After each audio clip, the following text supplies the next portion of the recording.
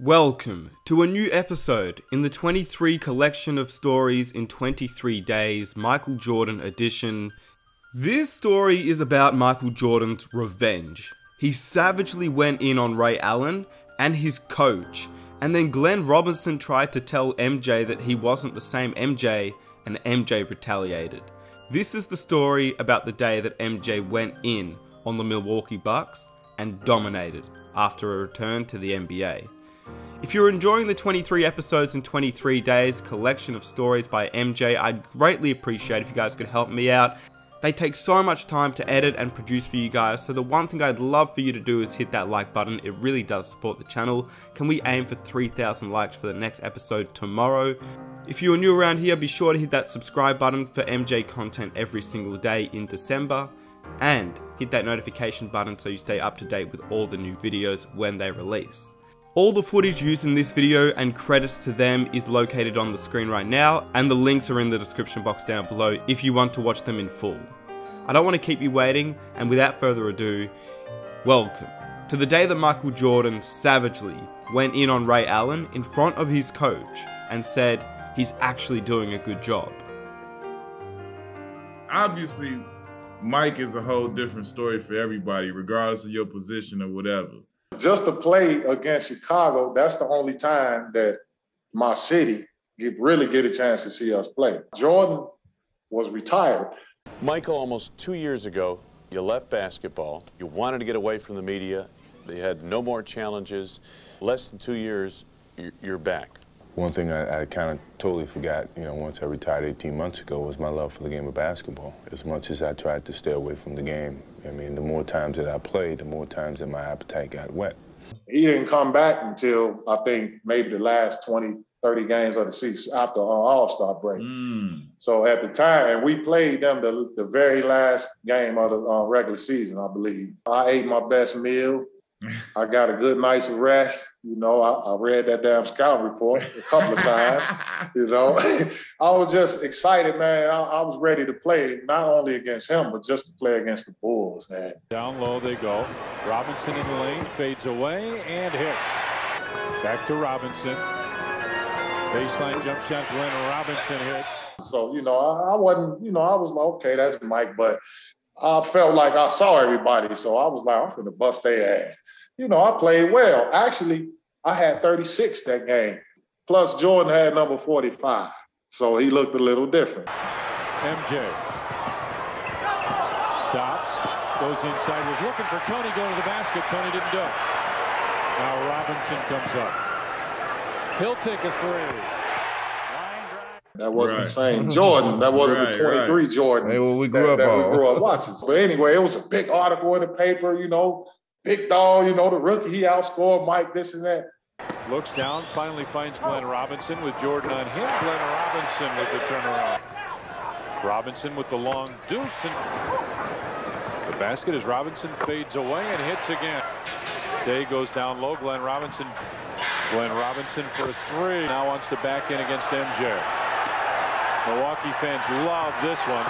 Robinson with a rebound, put it in. In the middle, Glenn Robinson with a jumper. Back to Glenn Robinson. Robinson pushes off, gets the 15 footer to go. And um, now, hey, let me finish now. When he came in, he didn't have no training camp. He just came in off the Yeah, streets and started uh-huh. like playing. So if you look at the numbers he was putting up there, that's kind of insane. but he had the full season now, training camp. He got a chance to get, you know, everything in. And fellas, it was like he read that shit. Next game, he had to make a point. It was like he read I gotta that, man, make it. I gotta make an example. man, the next season, when when he now keep in mind he came 23. in, absolutely. Down the left side, Michael stops from 15. Tied at 23 now is Michael with Hancock on him. Backs his way in, spins, fades from 15. MJ. MJ's been quiet for a little while and ends that drought. MJ comes inside, fakes in the lane, fadeaway jumper. Yes, and it counts. Michael drops it home. Bounces down low. MJ fadeaway from 15 and hit. Up and down low. Not a bad pass. MJ's pretty good choice, too. They take one here. Shot Bulls will clock. get a new 24, yeah. MJ fadeaway jumper. He almost broke Johnny Newman's ankle. But the Bulls do win it here. Of course, he averaged about 45, 46 against us. But you know who had to pay? You hey, you know who had to uh, eat, eat most of them buckets? Ray. Hard up and down the floor. Allen turns and looks.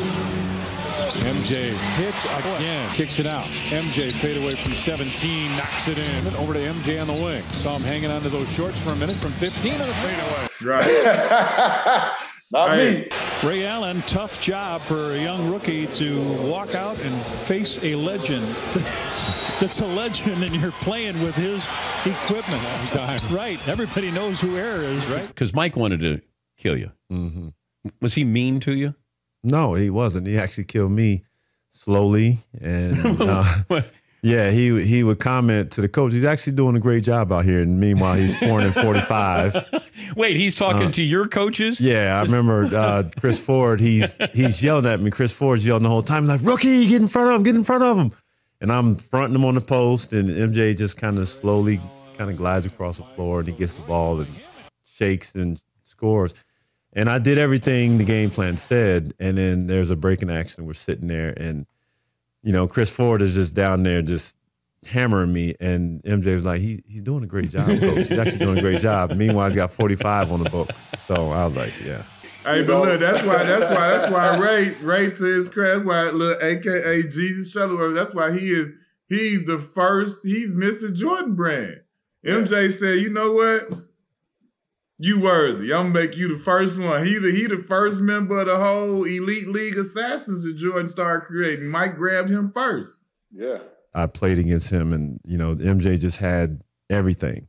You know, from mid range to three point to post up game, and he could score and dominate in each position.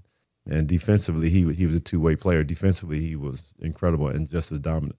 Did you think that Mike didn't want you taken out because he had 45 in the books? Like he wanted you to guard him? No, I honestly believe that he he didn't think that anybody could stop him. He can score whenever he wanted to score, uh, wherever he wanted to score. So it didn't matter what I did out on the floor. He was going to get his touches. He was going to get his points. I played in between both those eras, and the rules were totally different. Like you can't touch a guy now. You know, you a guy will go to the free throw line 20, 25 times a game just off of ticky tack stuff. But he used to, and Phil Jackson said this uh, when he was promoting his book years ago. If Mike played today, he'd, he would average 45 in his prime. Easy. You believe that? hmm it's just not a comparison to compare what we do now and what's going on now to what's happened in the 80s and the 90s. When it get down to to to just the killer mentality and the killer instinct, can't nobody get up in that room with Kobe and MJ. They belong in that room by their damn self. Right. They can't nobody come can't nobody come up in there. Like Right. when you talk about the the the the set of what they bring to the table and how like what I fight you, I I score sixty on you, I you know what I'm saying, I lock Right. you down like they by themselves. They by themselves in that room. Can't nobody else grace that joint with them. Right. And I hope you guys enjoyed the video. If you did and you want to stay up to date with all the new Michael Jordan videos in December, be sure to hit that like button, subscribe if you are new, and hit that notification button. Let's aim for 3,000 likes for the next episode tomorrow. Here are two new MJ videos that I think you will love and enjoy, and I hope you guys have a wonderful day. Take care.